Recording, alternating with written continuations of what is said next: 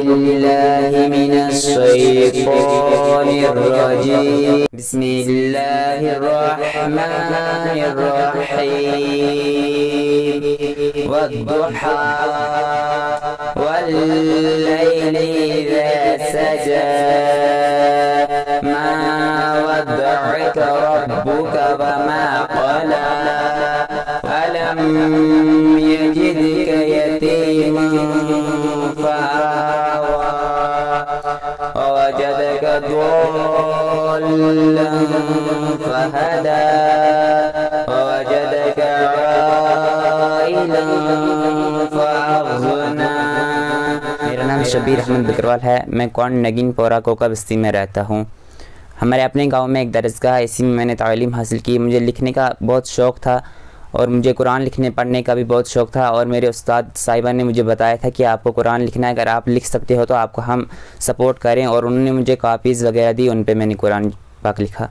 जी, हमें उतना मुश्किल नहीं लगा लिखने में, लेकिन हमारे घर में उतनी फैसिलिटी मौजूद नहीं थी, उसकी वजह से हमें बहुत दिक्कत हुई। दिन में काम किया, दिन में बाहर भी काम के लिए जाता था और घर का भी काम होता था, इसलिए मैंने कुरान पाक रात में लिखा। रात में लाइट काम होती थी, इसलिए किसी वक्त मोबाइल की लाइट में मोबाइल की लाइट पे लिखता था, किसी वक्त लाइट होती थी सोलर लाइट उसकी लाइट पे लिखता था और किसी वक्त मैं शमा वगैरह की लाइट का इस्तेमाल करता था। जी, दो महीने, बीस दिसंबर से बीस फरवरी तक। जी हाँ उनके पास पाँच, छः दिन था कुरान पाक तो उन्होंने इसकी जाँच की। मेरी एक माँ है और पाँच बहनें हैं।